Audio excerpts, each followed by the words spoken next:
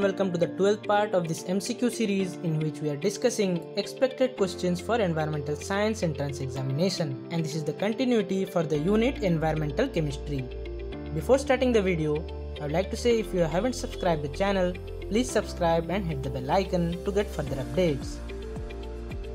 So our first question is which of them is not a criteria air pollutant? The options are on your screen.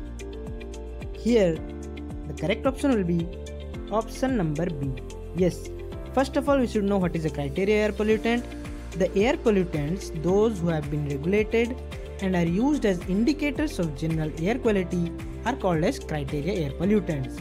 So, there are six air pollutants mainly lead, ground level ozone, sulfur dioxide, carbon monoxide, nitrogen dioxide, and particulate matter. Stratospheric ozone, so it is not a criteria air pollutant.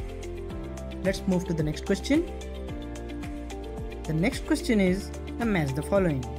So here in list 1 the terms are given and in list 2 the chromatographic action is listed. So you have to match with the following options. So I would like to say if you know one thing sometimes you will be able to solve this type of question. Yes, for example, we know effluent means the stream flowing out of the column.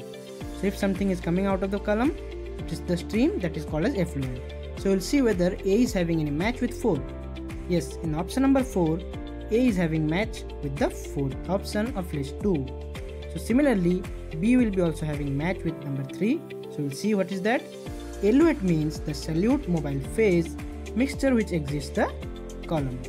So the mobile phase in the solute is known as the eluate. Similarly, C will match with 2 that is Eluent in a chromatographic action is the mobile phase. And the last one that is eluite is the eluted solute. So these are the confusing terms. Please pause the video and you can see what is their meaning. Let's move to the next question.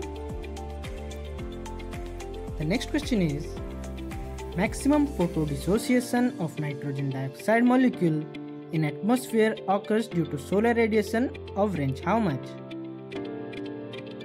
So here photodissociation means the breakdown of nitrogen dioxide molecule with the help of photons that are coming from the solar energy.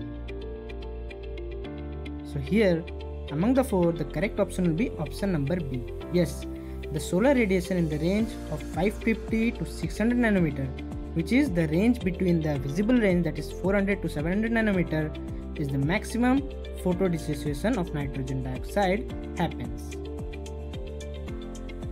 Time for the next question. The next question is an assertion and reasoning type of question. So this has come in 2016 NET examination. The assertion statement was at a constant temperature the solubility of ammonia in water increases with decrease in pH.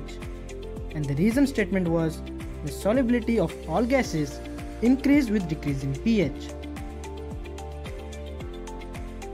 So here we can make the common sense work here Yes, because we know every gases is having its own chemical composition, chemical nature.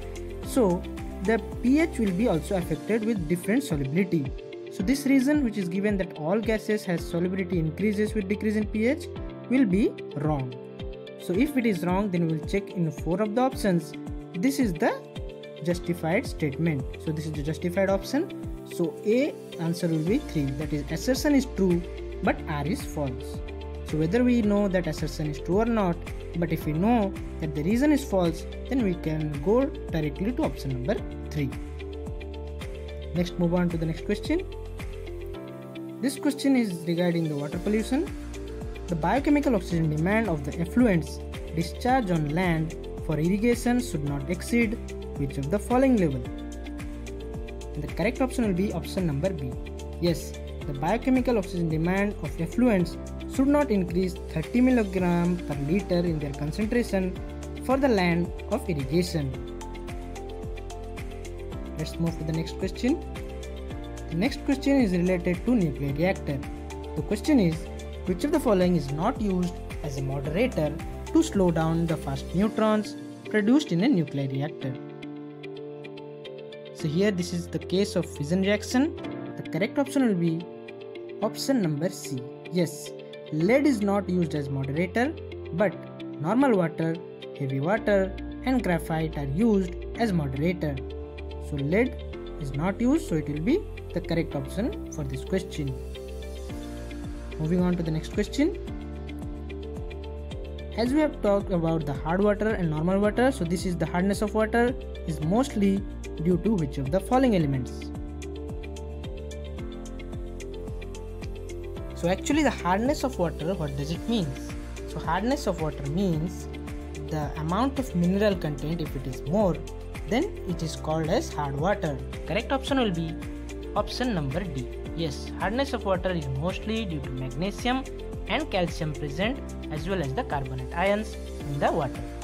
So you should know one more thing also it has come several times in examination that what is causing the permanent hardness of water and what is causing the temporary hardness of water.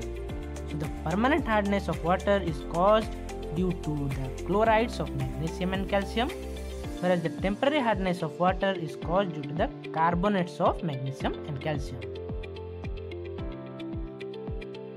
Let's move to our next question.